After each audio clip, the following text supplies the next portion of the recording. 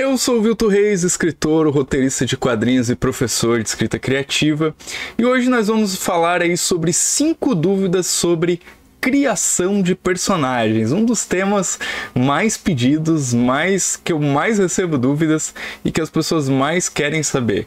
Né? Afinal, personagem é tudo dentro da narrativa, né? O que, que você vai aprender nesse vídeo? como caracterizar o personagem sem ser muito prolixo, sem escrever demais, como escolher o nome do personagem, como introduzir, como colocar o personagem em cena da história, como dar uma personalidade única para o seu personagem para não ter aquela história cheia de personagens todos iguais e como dar verossimilhança ao personagem, ou seja, como fazer com que ele pareça uma pessoa, né, e não só um amontoado de palavras.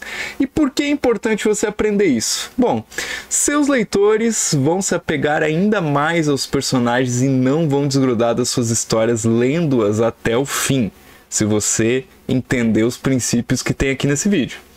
Seus personagens vão parecer pessoas reais, o que vai aumentar a imersão do seu leitor na história. Então, isso vai potencializar muito mais a sua história para que ela fique na memória do seu leitor.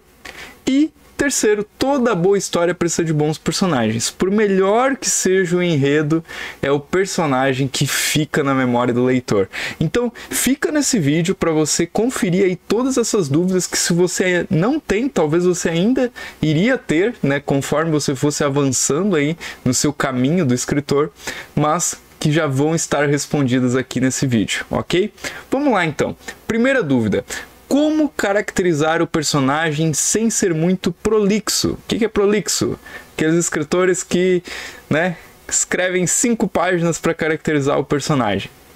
Isso é ser prolixo. Bom, você deve focar em trabalhar a dimensão física e não citação de características físicas do personagem. Tá? É, o que, que se quer dizer com isso? Vocês certamente já leram aquele livro em que o escritor faz o que parece uma ficha de academia, né? Eu sempre brinco que parece uma ficha de academia. Porque o personagem aparece e ele diz: era um loiro alto, de olhos verdes, com mais de 1,80m de altura. Parece assim uma descrição assim quase que jornalística ou policialesca, não sei. E assim, isso é muito fraco em termos de ficção. Isso aí qualquer um faz, qualquer um que está começando a escrever a primeira linha, isso aí qualquer um faz, tá? Mas eu, eu lembro eu, eu, lembro de uma história que eu li há, há muito tempo, era um livro de não ficção, tá? Que era é, eu tô tentando. Ah, lembrei o nome da história. Eu achei que eu não ia lembrar aqui no meio do vídeo ia ficar feio, né? Isso aqui não tava no meu roteiro, mas eu resolvi aqui dar uma improvisada e eu pensei que eu não ia lembrar o nome do livro. Mas é Na Natureza Selvagem, do John Krakauer, né? Que depois virou aquele filme, né? Into the Wild, que é um filmaço, né? Com a trilha do Ed Vedder, né? E tem um, um, uma descrição de um personagem nesse livro, que não é um livro de ficção, um livro de não ficção, que é, é descrito assim: quando Fulano falava, as pessoas ouviam. E essa é uma descrição incrível sobre para apresentar um novo personagem. Porque quer dizer que ele tinha uma autoridade, quer dizer que quando ele falava, as pessoas paravam para ouvir, as pessoas o respeitavam. Olha que apresentação de personagem. Não é aquela coisa clichê, né? Aquela coisa padrão. É algo único desse personagem que nenhum outro tem dentro da história. Então, é, você não precisa se focar em, apenas em aspectos físicos do personagem, mas você pode trazer coisas da dimensão física dele.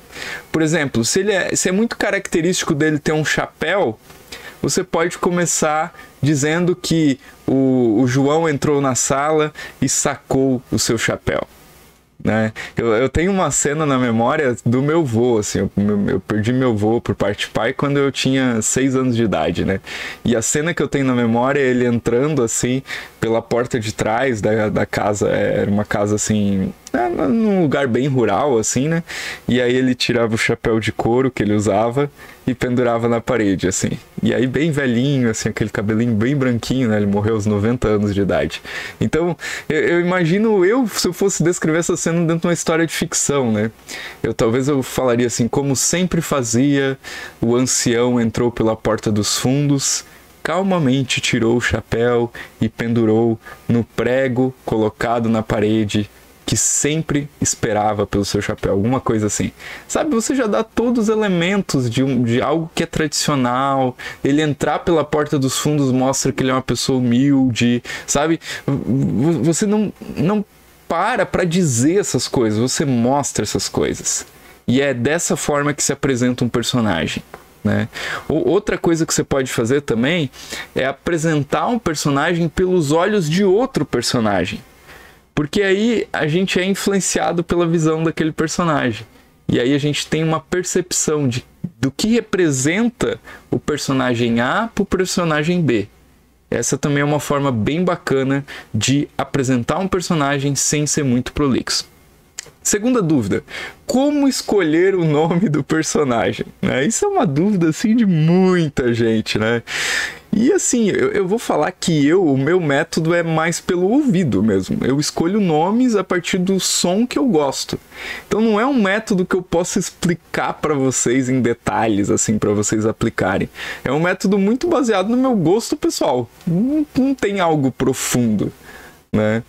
Então, assim, se você tem dificuldade, a primeira coisa que eu indico é você entrar em sites de significados de nomes né? Porque se você for no Google e digitar assim, sites, é, nomes de homens, nomes masculinos, nomes femininos, nomes masculinos africanos, nomes masculinos americanos, nomes femininos alemães você vai ter listas e listas de nomes e muitas dessas listas elas têm o significado desses nomes dentro dessas culturas. Então você pode trabalhar a personalidade de um personagem em cima do significado do nome dele. Até tem uma cena bem legal do filme Pulp Fiction, né, do Tarantino, em que o, um personagem pergunta pro outro: Ah, e, e você, qual, qual que é o significado do seu nome? E ele diz: Na América os nomes não têm significado. É, é, é uma coisa interessante, assim, porque na nossa cultura contemporânea, muitas pessoas não, não dão, assim, o nome pro filho pensando no significado, né? E a gente pode fazer isso ou não nas nossas histórias de ficção. Não tem jeito certo e errado nessa questão. Uma dica que eu dou, porém, é você variar as iniciais dos personagens e também o tamanho do nome dos personagens. Por exemplo, você não deveria escrever uma história que tenha três personagens principais que são o nome João, José e Jacó. A não ser que seja para fins cômicos, né? Aí até vai. Porque assim, é algo que vai confundir um pouco o leitor, assim, quatro nomes, três nomes que começam com J e que tem quatro letras. Poxa, sabe, não, não diferencia muito. Agora, se um deles for José, o outro for Antônio e o outro for Carlos, né? Eu tô pegando nomes bem comuns assim só para dar exemplo. Isso já diferencia bastante. Uma coisa que eu gosto de fazer em histórias contemporâneas é pegar um nome que não seja muito comum, como esse que eu citei, mas que ao mesmo tempo não soe muito estranho. Por exemplo, ah, vou criar um personagem aqui, um brasileiro. É, se eu chamar ele de Juan, tudo bem, é um nome né, que tem uma sonoridade do, que vem do espanhol e tal, mas já é um nome bem adaptado no português, bem utilizado. É um nome diferente para o meu personagem, né? Até no meu livro eu tenho um personagem que chama Cauã, né? É um nome de origem indígena, né? Mas que já é né, bem adaptado aqui no Brasil, bastante utilizado assim pela, pela sociedade em geral, que não tem ligação né, com, o povo com povos indígenas. Então, é, você colocar esse nome vai ajudar que esse personagem não seja assim, um nome muito comum, mas que também não seja uma coisa bizarra, tipo você ter, sei lá, o nome de um personagem brasileiro com o nome, sei lá, Ryu, né, que seria um nome japonês. Até pode ser que tenha, mas daí você vai ter que explicar o porquê que ele ganhou esse nome aqui no Brasil. Então tem tudo isso para vocês pensar a respeito é, de um nome de um personagem. E a minha última dica é uma coisa que eu faço muito, né? Diga o nome do seu personagem em voz alta e tenta perceber se esse nome transmite aquilo que você pensa daquele personagem. Vou dar um exemplo, por exemplo, Jerônimo. Pô, Jerônimo é o nome de um personagem forte, né? Valkyria. Valkyria é o nome de, um, de uma personagem poderosa. Né? Então, tem nomes que, mesmo que você não saiba o significado deles, o, parece que a, a sonoridade deles te transmite isso. Tá? Eu sei que vai ter gente que é mais sensível a essa questão e vai perceber melhor isso, e vai ter gente que não tem sensibilidade nenhuma para essa questão, e isso não quer dizer que você não deve escrever, tá? Você deve escrever sim, escolhe o nome com outros critérios, defina os seus critérios para escolher nome. Mas se tiver muito difícil, usa a lista aí de sites de nomes de personagens e pronto, e mete ficha, e, e não fica travado na história por causa disso. Terceira dúvida como introduzir o personagem na história, tá? Como colocar o personagem em cena. Eu já falei um pouquinho disso em outra dica, né? Mas você deve usar a regra do mostrar em vez de contar. Eu, quando eu comecei a escrever, eu tinha assim um, um mau hábito, né? De cada personagem que entrava em cena, eu pegava e parava a história para dar um histórico daquele personagem. Eu devo ter lido algum escritor que, que fez isso. E como eu estava começando, não tinha muito critério do que era bom do que era ruim, o que era interessante, o que não era interessante, eu comecei a emular isso, né? Até que eu fiz uma leitura crítica com um escritor mais experiente, que é algo que eu recomendo que vocês façam. Eu, eu presto esse serviço de leitura crítica também. E aí ele me falou, Vilto, isso não é legal porque você para de contar a história para dar um passado daquele personagem. Mostra esse passado conforme a história for avançando, né? Então, quando você introduzir esse personagem, pense em criar uma cena de apresentação que nada mais seja do que uma situação que revele como o personagem age em uma situação comum, né? Se for no começo da história. Lembrando que se for antes que o incidente inicial da história aconteça. Se você não sabe o que é incidente inicial, pesquise que eu tenho vídeos aqui no canal, né? Eu vou tentar botar aqui no card, aí, se você estiver vendo no YouTube, é, falando sobre estrutura de três atos, né? E é algo que eu é, aqui eu falo mais de uma forma mais rápida aqui no YouTube e nos meus vídeos, e no meu curso Caminho do Escritor eu falo de uma forma bem mais aprofundada. A gente tem aulas e aulas estudando a estrutura de três atos. Então, é, antes, quando você vai apresentar o personagem no começo da história, mostra uma cena que mostra quem ele é no mundo comum dele. Então, se ele for um personagem, uma pessoa comum que trabalha, não sei, numa padaria ou que é um Uber, sabe? Você mostra ele numa situação comum de dia a dia. Né? Mostra como é que ele age, como é que ele é normalmente e tal. Ah, se ele for um super-herói, né? Digamos que eu fosse escrever a história do Superman, né? Pô, eu ia mostrar, a primeira cena que eu ia mostrar dele, sei lá, ele evitando que um avião caia, né? Como até tem num, num dos filmes mais antigos do Superman. Porque esse é o mundo comum dele. É. E aí, com uma cena, eu mostro quem ele é, como ele age, como as pessoas olham para ele, né? Como ele é na questão física, na questão física, social, psicológica. Eu mostro isso com uma cena. Com relação a personagens secundários, procure com uma descrição ou fala dele demonstrar sua personalidade. Né? Com uma descrição, é, por exemplo, é, quando o rei o rei Carlos entrou na sala, todos se levantaram. Ou quando o rei Carlos entrou na sala, ninguém fez caso de fazer referências, fazer reverências. Pô, o que, que isso diz sobre o Rei Carlos? Que ele não é respeitado. Né? Que ninguém dá bola para ele. Que rei é só o título, porque talvez ele seja o bobo da corte. Então, quando você demonstra, né, a partir às vezes do, do olhar das outras pessoas, como é aquele personagem, você já dá todas as pistas para o leitor. E isso é legal, isso é bem interessante em termos de ficção, tá?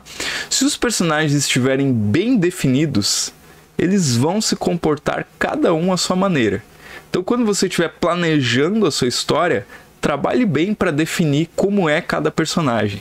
E assim, quando você precisar introduzir um personagem novo que não estava na história, com uma ação, com uma fala, você já consegue mostrar para o leitor quem é aquele personagem, seja o secundário ou seja o principal.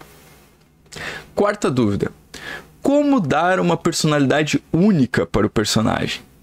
Né, as pessoas me perguntam isso, ah, Vilton, e isso era um erro que eu cometia muito também, assim, né? Quando eu comecei a escrever pelos meus 18, 19 anos, eu na época eu tinha depressão, assim, era muito antissocial e tal. Então, assim, todos os meus protagonistas e até os personagens secundários, eles eram assim pessoas muito pessimistas, né, fechadas em si mesma, é, depressivas, antissociais. Eram todos reflexos de mim, mas todos reflexos iguais. Né? Sendo que isso era uma cegueira da minha parte, né? E por um acaso eu tirei o óculos bem na hora que eu falei isso. Mas isso era uma cegueira da minha parte, porque um ser humano ele não tem uma faceta só, ele tem várias facetas. Né? E quando a gente se propõe a criar personagens, a gente pode utilizar modelos psicológicos para criar personagens diferentes. Você pode usar, por exemplo, os tipos psicológicos junguianos, né? que é o extrovertido, introvertido, e para cada um desses dois ele cria mais quatro tipos psicológicos, que é algo que eu ensino também no curso Caminho do Escritor. Mas você pode usar outros modelos. Até signo você pode usar, né? Você bota signo ariano no personagem. Eu, eu não entendo nada de signo, tá, gente? E também não acredito, e quem acredita, tudo bem, respeito. Cada um acredita no que quiser. Mas, ah, você coloca o signo de touro. Qual mais que tem? É... Capricórnio, sei lá, to, é, touro, capricórnio, tem mais algum bicho aí no signo? Não sei. você coloca e você usa as características daquele signo no seu personagem. Né? Porque não existem personalidades únicas, né? mas réplicas de personalidades humanas. Um site bem legal também que tem é o 16 Personalities. E aí é, é outros arquétipos assim que eles usam para definir os personagens. Dica: o importante é cada vez que você for sentar para escrever uma cena, você vê, ah, nessa cena aqui vai ter a personagem Sofia e a personagem Joana. Pô, eu vou dar uma conferida lá na minha, no meu planejamento para ver como é que é a personagem Sofia e como é que é a personagem Joana. Ah, a personagem Sofia age assim, a Joana age assim. Então, quando eu vou sentar para escrever, eu dou aquela conferida e escrevo a cena com isso em mente. Porque não adianta você montar um planejamento, montar ficha de personagem, fazer todo um descritivo de como é o personagem A, B, C, D, sei lá, Y, W, e aí você esquece, deixa isso para lá. Então foi trabalho em vão.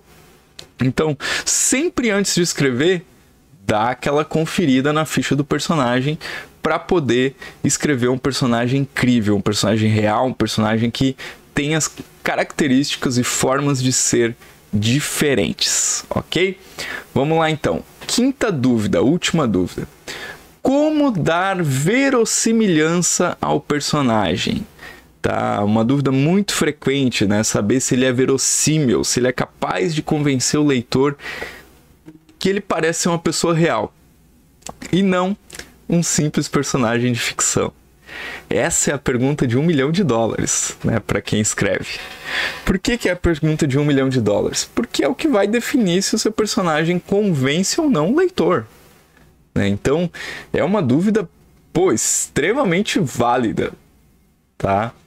Porque o, o que, que define né, para o leitor? O que, que faz o leitor se identificar ao ponto de é, ele fazer aquele pacto com o escritor? Vocês sabem disso, né? Quando o leitor começa a, a acompanhar uma história, seja um filme, seja um quadrinho, seja uma peça de teatro, seja é, um, um, livro de ficção ou de não ficção, ele faz um pacto com o autor daquela obra. Qual que é o pacto? O pacto da suspensão de descrença. O que, que é isso? Quando eu vou ali, ler Alice no País das Maravilhas e eu leio que surge um, o gato de Chishire, que é um gato de fumaça, eu não pego e paro de ler e falo assim: ah, mas o gato de fumaça não existe. eu imaginem, né? Ah, eu tô lendo uma, sei lá, tô assistindo Matrix, né? E aí, de repente, o Neo sai da, da Matrix, né?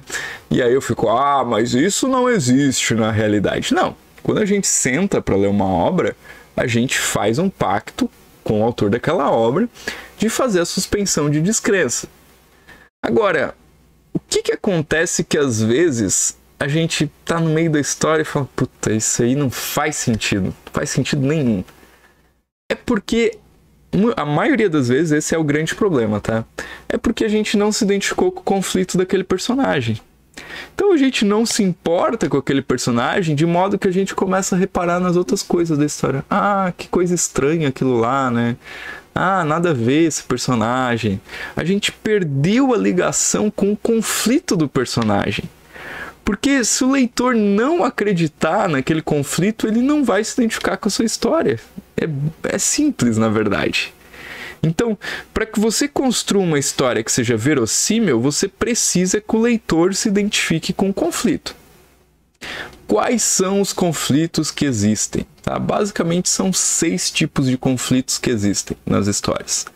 O primeiro é o personagem contra outro personagem. Então, conflitos de personagens, ou entre heróis e vilões, ou entre amantes, né? como Romeu e Julieta do Shakespeare. Então, é, todo mundo já vivenciou esse conflito. E se for bem construído, dificilmente o leitor ou né, o telespectador, dependendo do tipo de história que você estiver criando, não vai parar para assistir. Outro conflito que existe é o personagem contra a sociedade, né? O personagem é vítima da sociedade como o Winston Smith, né, em 1984, do George Orwell.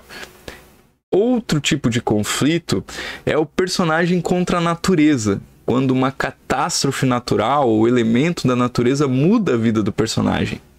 Como né, os filmes, o, por exemplo, Não Olhe Para Cima, né, com aquele filme Leonardo DiCaprio, né, há um conflito do homem contra a natureza e também do homem contra o homem, né, porque é o homem ou até do homem contra a sociedade, porque é como aquela sociedade reage né, ao conflito com a natureza. Ou né, um exemplo literário, Moby Dick, do Herman Melville, né, cujo conflito é do homem né, contra as forças da natureza. Outro conflito que existe também é do personagem contra a tecnologia. Né? O personagem enfrenta os resultados ameaçadores da ciência que estão além do seu controle, como o Frankenstein da Mary Shelley. Outro conflito que existe é do personagem contra ele mesmo, né? aquele, conflito, aquele conflito interno, né? a luta interna do personagem. Um exemplo disso é o Raskolnikov, em Crime e Castigo do Dostoiévski. E por fim, o último conflito é do personagem contra o sobrenatural. Né? A fonte do conflito é o sobrenatural. E aí existem várias histórias, como as histórias de terror, né? O, o, palhaço que aterroriza as crianças em It, a coisa do Stephen King. Então, se o leitor não se ligar com o conflito que aquele personagem está vivendo, ele não vai. Ele vai se distrair da verossimilhança da história. E aí você perdeu o seu leitor. Então, é basicamente isso o fundamental para que você mantenha o leitor nessa história. Antes de eu encerrar o vídeo, deixa eu fazer um pedido para você. Eu quero fazer mais vídeos sobre dúvidas sobre personagens e também sobre outros temas, né? Cinco principais dúvidas ou até mais principais dúvidas sobre um tema. Então, se você tiver sugestões de tema, coloca aqui embaixo nos comentários. E se você quiser comentar sobre qualquer ponto, coloca também aqui embaixo nos comentários. Se você gostou desse vídeo, assina o canal, ativa as notificações e deixa o seu like nesse vídeo. Caso conheça alguém que possa se interessar por esse tema ou participe em algum grupo de escritores, envie o link do vídeo aí, né? E se você quiser me apoiar financeiramente para que eu continue esse trabalho, acesse catarse.me barra escrita criativa e faça a sua contribuição. Esse é o nosso vídeo de hoje e até o próximo.